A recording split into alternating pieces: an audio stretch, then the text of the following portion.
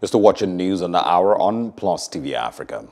The Adamawa state government has confirmed the arrest of over 200 suspected looters, as well as the return of items carted away by the suspects. Governor Ahmadu Fintiri confirmed this uh, to newsmen on an inspection visit to government facilities within the state. Fintiri, however, says the state government will continue to monitor developing issues as to restore law and order in the state. The people have complied.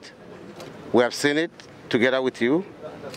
Uh, substantially from what we can see, uh, for the non-food items, more than 70% have been returned. Over 60 tractors have been recovered and returned. They're in the custody of the security agency.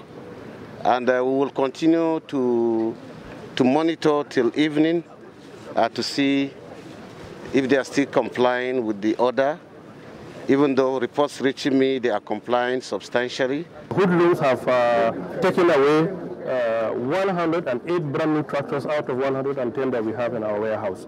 They have also taken away substantial number, quantity of inputs, certified seed, quality fertilizer, herbicide, water pumps, and water fuel.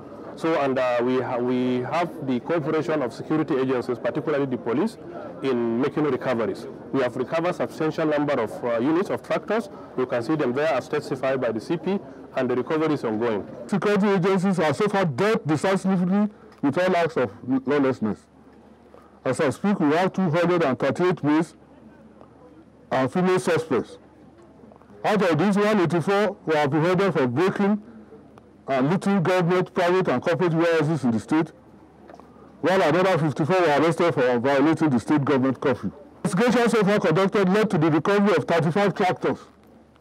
They are here. 15 bags of rice, 142 bags of fertilizer, 11 bags of guinea corn, 3 water pumps, 5 Indomie cartons, 19 pieces of excellent expectorant, expectorant medicine. Hello, hope you enjoyed the news. Please do subscribe to our YouTube channel and don't forget to hit the notification button so you get notified about fresh news updates.